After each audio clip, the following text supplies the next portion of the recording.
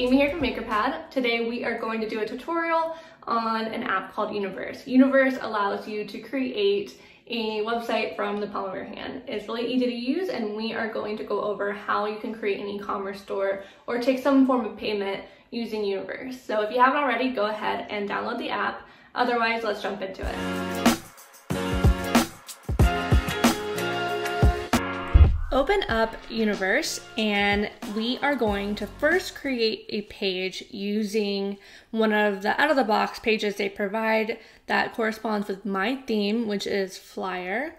And then we will create one from a blank canvas. So, like I said, I have already chosen a theme for my site in Universe, which is called Flyer. So, it will be branded with those colors. So I'm going to scroll to the Add Store page option and tap that.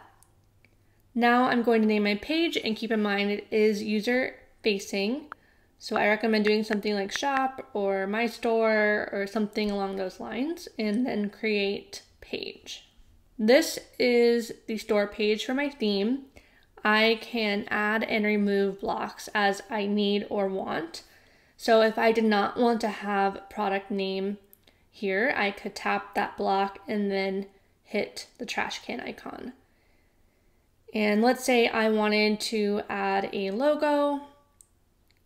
I could hold my finger down and move it across the grid and I could add a logo. And now I can add an image, either from my phone's library or from Instagram. So I will add some handbags from my hypothetical purse store. You can play around with the layouts. Using the text block, you can add in a product description. You can choose a different font if you wanted to. You can make the font bigger or smaller. You can change the alignment and you can change the color. To the right, when I click on this block, there will be a Shopify block. If you haven't already connected Universe to Shopify, you will be prompted to log in. Keep in mind that within your Shopify account, you need to add Universe as a channel on your products within Shopify. Once you're signed in, your products will pull through. Since I didn't use product name for my first product, I'm going to again select that block and hit delete. And I'm going to add another image. Again, I'm going to add a product description and choose my product from Shopify. So obviously I have three products and I only have the option to add two here. So I am going to click on this block and click on add row. Otherwise I have to add rows here and then move each block down. So to recreate um, this layout, I am going to select a rectangle. And because I only have one photo versus many photos, I'm going to select the photo block versus the photo uh, versus the gallery block. So select photo. To add in the product description, you would do a text block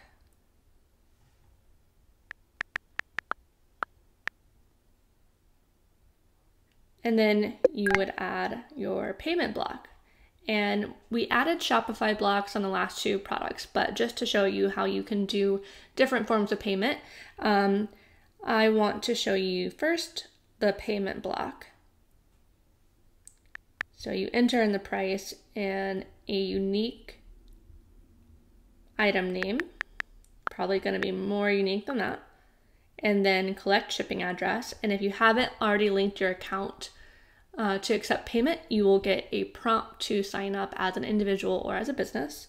Another way you could have done that, I'm gonna delete that block real quick, is add a block and you can do the cash block. And you can link to PayPal or cash.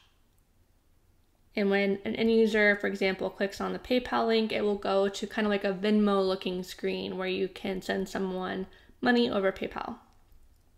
And then if you want to use Shopify, you would add the Shopify block. Let's say we also wanted to add in one more block that allows people to uh, get updates on new products. You would first do a text block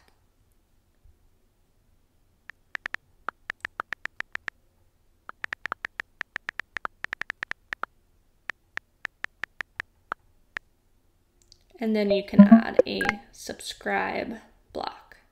And once you're done, you would hit publish. So now let's say we want to create our own shop page. We would hit the plus sign and swipe left until you see the blank page type. I'm going to add my logo. And now I'm going to add my products here as a little square with the payment block. I'll do another product here. Then when I was done loading my products, I could add some social links like Instagram. I'm gonna make the background transparent. And then do a subscribe block and hit publish. And now I've added my own custom shop page to my Universe site. And when people either buy something or subscribe, you can see that information on your audience tab. So this is how you set up a marketplace page within the Universe app. If you have any questions, don't hesitate to reach out and thanks for watching.